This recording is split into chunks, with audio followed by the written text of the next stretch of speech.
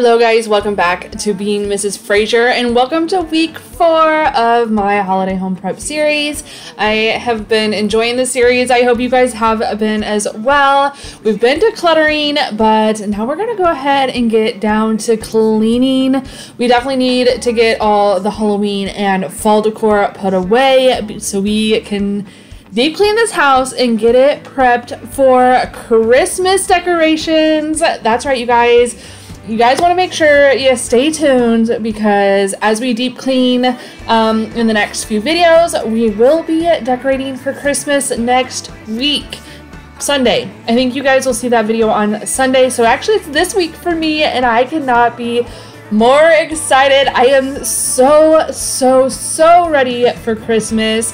I did put a poll out there um, and asking you guys when you would like to hear some Christmas music, and the poll said in November. Well, this video is going to go up without Christmas music, so I do apologize. But the next ones will have Christmas music, I promise. I I love Christmas time. I love Christmas music. I have been enjoying all the Christmas videos, um, all the Christmas decorations in stores. I have just been enjoying it all. It is uh, I am so excited again for Christmas to be here. It's just such a magical time of year. I hope you guys will just stick around and join me um, throughout the rest of this series. Like I said, this is week four. And yeah, we we got some deep cleaning to do. Um, we're gonna in today's video we're going to be deep cleaning the living room and the um, master bedroom. So I will be sharing that with you and I will be sharing all my tips and tricks to keeping your homes clean and ready for those holiday guests.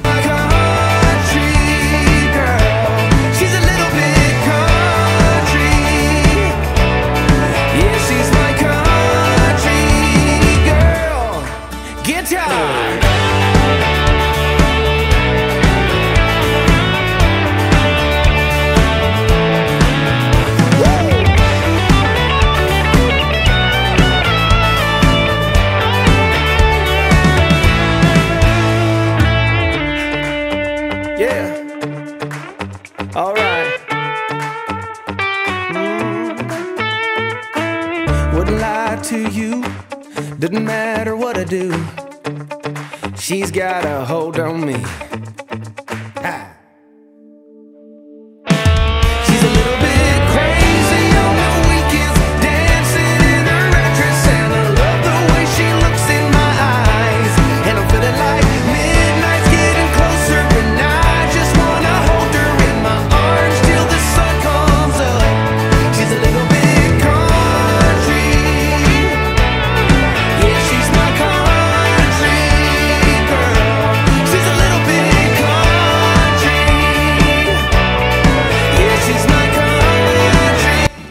So let's go ahead and jump right into this. You guys, keeping a clean home, how do we do this?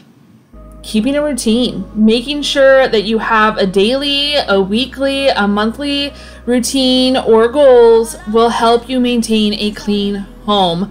You know, I, I make sure that I have weekly things going on, um, you know, daily act, uh, activities, not activities, but daily things that I do that help keep my home clean and ready for guests. I can literally, I, I as long as I have a good, you know, 15 minute warning, my home could be prepared for anybody. So let's go ahead and jump into what those daily routines could kind of look like. Um, you know, let's create a laundry routine. So, for instance, um, in our home, my girls, if you don't know, um, well, first, hi, I'm Tammy. How are you doing? um, my family of six moved down to Florida. Um, I know now I'm kind of like pulling out of the sky here with this content, but or this um, voice over here, but I totally forgot that I haven't introduced myself in a while, so I do apologize for that. So let me give you a little backstory of our family. We are a family of six, three girls and a boy. We have three teenage girls. Yes, teenage girls, all three at the same time, and life is is life. Um, anyway, we have a 17 year old, a 15 year old, a 13 year old, and a 10 year old boy. So, my husband and I moved our family down here to Florida just over two and a half years ago or so um, after living our entire lives in Nebraska. So we have done things. What have I done to help keep my home clean with such a busy, large family? Semi large. Big family? I don't know. You tell me. um, so, some of those things that we do in our home to keep things moving, to keep things clean, um, is creating a laundry routine. So, this is very important making sure you stay on top of the, your laundry, you don't have big piles built up and stuff like that because those types of things will make your home, you know, have a smell, which all homes have a smell. You can't smell them, you become nose blind to them, it is a thing. But making sure you stay up on your laundry will help with that. So, like I said, um, or like I was getting into before I went on that little uh, side road there. Um, our girls, uh, we have three again, um, wash their clothes. They usually do a load on Wednesdays, so they'll throw a load in before they go to school. And if I remember, I will try to um, switch that over to the dryer so that way it's dry by the time they get home from school, so they can fold it and put it all away. And then on they um, do the rest of their loads, which is about two more loads of laundry for them um, on Saturdays. And then on Sundays, they wash all their bedding. So that way, you know, those are their days. They know that is their days. Um, and they kind of, it helps get everything done for them. Um, one of our girls, she is weightlifting, she does softball, and she works. And so, um, trying to keep up on all of her laundry alone is a hassle. It's it is a lot. So because she is constantly changing clothes and stuff like that. Um, so they have basically three days a week um, to wash their their clothing and their bedding. And yes, they do wash their own they take care of it all. Um, I feel like it's very important. We, we, my husband and I feel like it's very important to teach our kids how to take care of their own things. Um, you know, when for example, when my grandma my mom's side passed away, you know, my grandpa had no idea how to run a washer. And, you know, I know that's very typical of that generation, the women taking care of everything. Um, but regardless, you know, I, I want my kids to know how to learn or how to take care of their own homes because at some point, you know, especially our oldest, I mean, she's 17. She she's getting close enough to the age where she might move out here in a few years. And so I just want to make sure that they are prepped and ready for that. Um, so anyway, another side road. If you're new, hello. I do go off on little tangents a little bit. We take side roads to get back to the main road. It's okay. Um, but anyway, um, and then so during the week, I also wash um, my husband's clothes and my clothes on Mondays. So that way we have a fresh week. We're back to the weekday, and then I wash everything. Um, and then we wash towels and rugs, like bathroom rugs, and that on Tuesdays. And then our son will wash his clothes and his bedding all on Fridays. So we are literally running the washer going almost every single day during the week. Um, you know, it is it is what it is. Um, it's it's a lot again we are a big family. I counted it one time and I forget, I don't know, I feel like it was somewhere upwards like 30 loads a week between all six of us. I know that sounds like absolutely insane, but it's very realistic for us. Um, yeah. And then when you have days like uh, like when I'm cleaning the living room, um, stuff like that, you know, adding in all the linens for that, the blankets, the throw blankets, the pillow cases, and all that. It's it's I know, I know, it's a lot.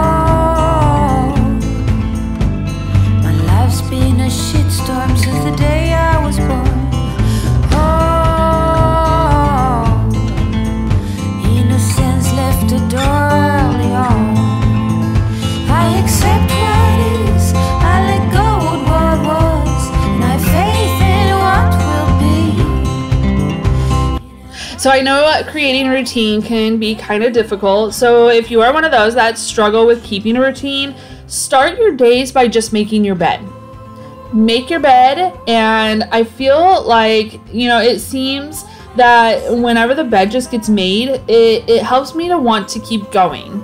Um, I'll be honest, because I'm all about honesty around here. Um, I don't always make my bed. And, you know, I notice on days that I don't, um, I just, the day just seems sluggish. I seem less productive with my days.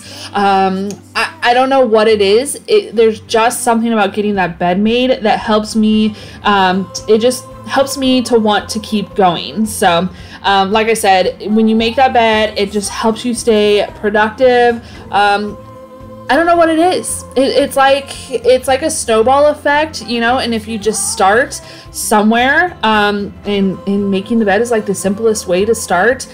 It just like has a snowball a, sm- a snowball effect, and it just keeps going. And then you just keep cleaning and wanting to do things to kind of just you know help maintain your home. So it also with a made bed, you're less likely to crawl back into that bed because I know some of us, um, especially when you start getting into perimenopause and all those fun and lovely things, you need a nap. And I know if I take a nap, my day is shot. There's nothing more. I will not be doing anything else the rest of the day. It, it's I don't know what it is. Um, I mean, outside of like taking care of my kids and cooking dinner and stuff like that and being a taxi mom um, those kind of things stay productive but when it comes to like the cleaning the cleaning will be done it, it just is um, so let's let's help start that routine of just getting your bed made and you know what making that bed keep it simple you don't need all those throw pillows and all those blankets. You know, I know they're pretty, but they're expensive. They take up space. And sometimes you feel a little overwhelming when there's just so much to make that bed. And, you, and you're looking at your pile of stuff, and it's like, man, I really just don't feel like putting that on the bed. But if you just have a few things, it, it makes it so much easier. You're just pulling a blanket up, pulling the sheet up, you know, and throwing some pillows on the bed. It, it makes it so much easier when you have less. We kind it kind of goes back into the decluttering. When you have less, you feel better. It's easier to take care of, easier to maintain. So, I mean, that goes for kiddos too. You know, definitely have your kids making their beds. Um, it makes the house feel nicer, it looks nicer. And like I said, their beds can look just as nice too with a simple blanket or comforter and a pillow. And then, you know, it just makes things look neat and tidy. So, now, we need to talk. I know this is a bit controversial, but I have been hearing that people are not using flat sheets anymore. Is this a thing? I I don't know. Like I heard this over on TikTok, and so I'm curious. I need to know. Are y'all using your flat sheets? because I am. We so when I make a bed, I you know, you have your your mattress cover and then a fitted sheet, a flat sheet, a blanket, and a comforter. So we do not always use the comforter. It literally stays at the end of my bed. You'll see that here soon enough in the video. Um, but I'm hearing that that it's a controversial topic to use a flat sheet. Y'all need to y'all gotta let me know about this. Is it true? Is it not true? Um, I don't know. I I'm just curious uh, what's going on in the world for this to be happening. That people are using flat sheets. I get, I honestly get that it makes it easier to make a bed because you're literally just pulling a blanket up and calling it a day. But I'm just curious. I don't know because sometimes, like, I feel like I need a sheet to sleep because sometimes the blanket is just too heavy and I just want to cover up with the sheet. But sometimes I need that little bit extra warmth and I grab the blanket and cover it up on me as well. So, y'all are gonna have to let me know what is going on with these flat sheets, y'all.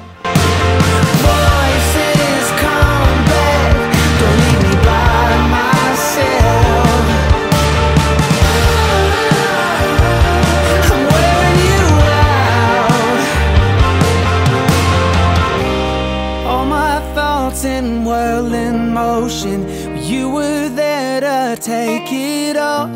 You poured it out into the ocean. Cause you can't keep it when I fall.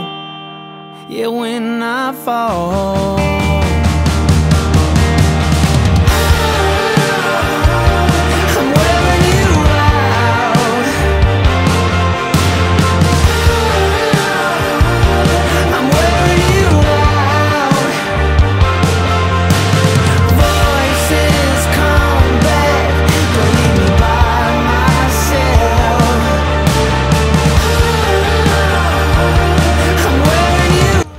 Another step to keeping um, a daily routine or helping to maintain a clean home um, is making sure you're sweeping or vacuuming daily. So we obviously have pets. You see the cats all over in this video because we.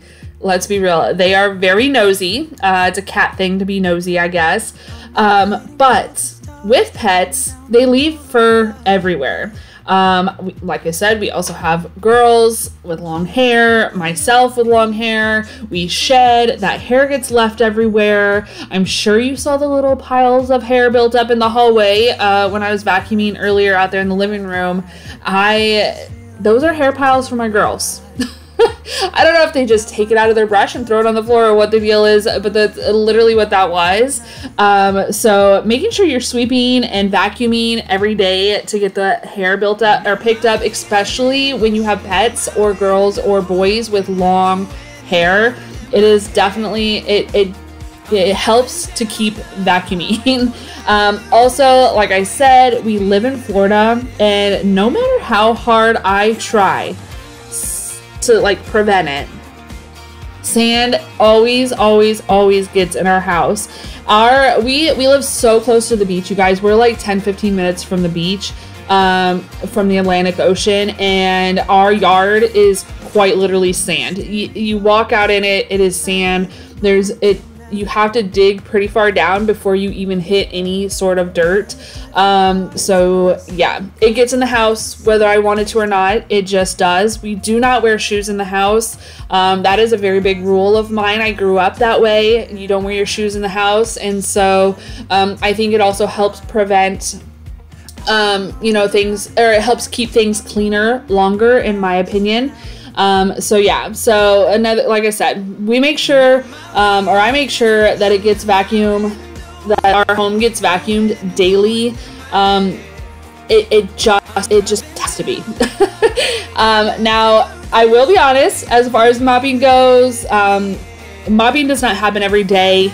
It happens every few days uh, just to make sure that we are getting any of those excess cleans and spills up, any of that extra dirt, stuff like that.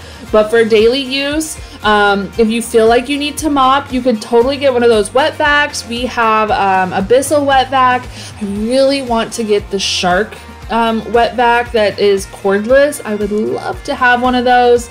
Um, but you know, whatever is in your budget, even if you have like the little wet, the Swiffer wet jet or whatever that's called, um, just to do a quick cleanup or whatever you want or whatever you feel is necessary. So, um, you know, because I know that uh, those of you with dogs, it rains outside, they come in with muddy paws, you know, you could always just spray that down and wipe it up with a towel or, you know, get your wet vac out and clean it up or with spills, stuff like that. Um, you know, but making sure that you are keeping up on that as a daily situation. If you spill, clean it up immediately. It's so much easier to clean up um, as opposed to letting it just sit there and ride out and dry onto your floor. Um, you know, that's one thing that I've been very hard, that's been um, hard to teach my kids. When you spill, clean it up immediately. It's much easier than just letting it go. So I know accidents happen. It is what it is. We all spill. I know I spill a ton. I am a messy cook. Like I try to clean as I go, but I am very messy. And so I do try to just clean up, you know, do spot cleaning and stuff like that when it comes to those types of messes. Be better off without you. I just don't see the meaning in going back and forth like we do. Oh, yeah, cause you got a way of making me feel like there's nothing that we can't do. But then you turn your back on it, leaving me regretting this now. Now, now, baby, you're nothing but a bad dream. Nicotine, tear me up, play with me. When you got nothing to do, you take me high. Another little tip that I have is when you are cleaning, you want to work from top to bottom. So, like you saw, I started in the bedroom with the ceiling fans, which, oh my gosh, I just realized I totally forgot to clean the ceiling fan in the living room. What am I thinking, you guys?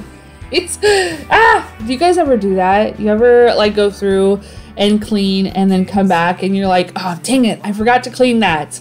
Yep, definitely one of those moments I am you are witnessing live here, but Anyway, so tip from Tammy: start from the top, work your way down. Um, like I said, start with the ceiling fans, the the ceilings, because your ceilings do get dusty. Um, you know whether it blows off of your fan or from your vents. So we we definitely need to probably replace some of our vents in our home. I have cleaned them and cleaned them, and they just like don't look clean anymore.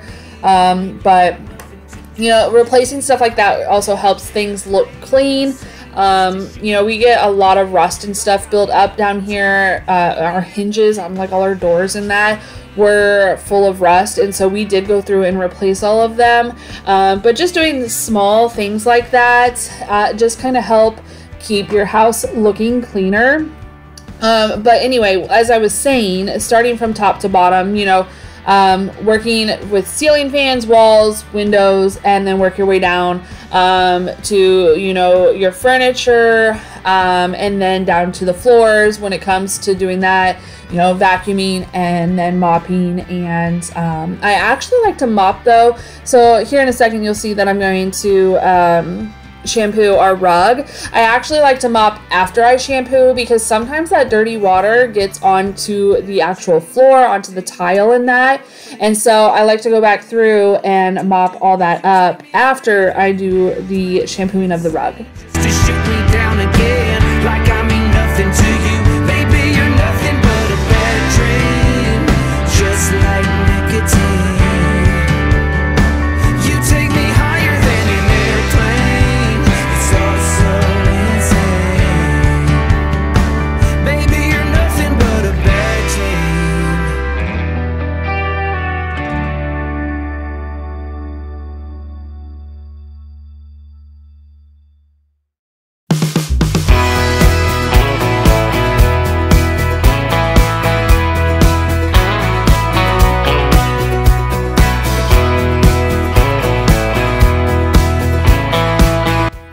And then going back to what I was saying earlier about homes having smells, they just do. Um, again, you're probably nose blind to what your house actually smells like, but find somebody that is honest with you. I know my stepmom always like, you know, I would ask her, and she's like, "No, your house smells amazing." So I'm like, "Okay," because I need somebody to be honest with me. My mom, same thing. You know, when she was alive, like I would ask, and she's like, "No, you're good. Like it, it doesn't smell to me."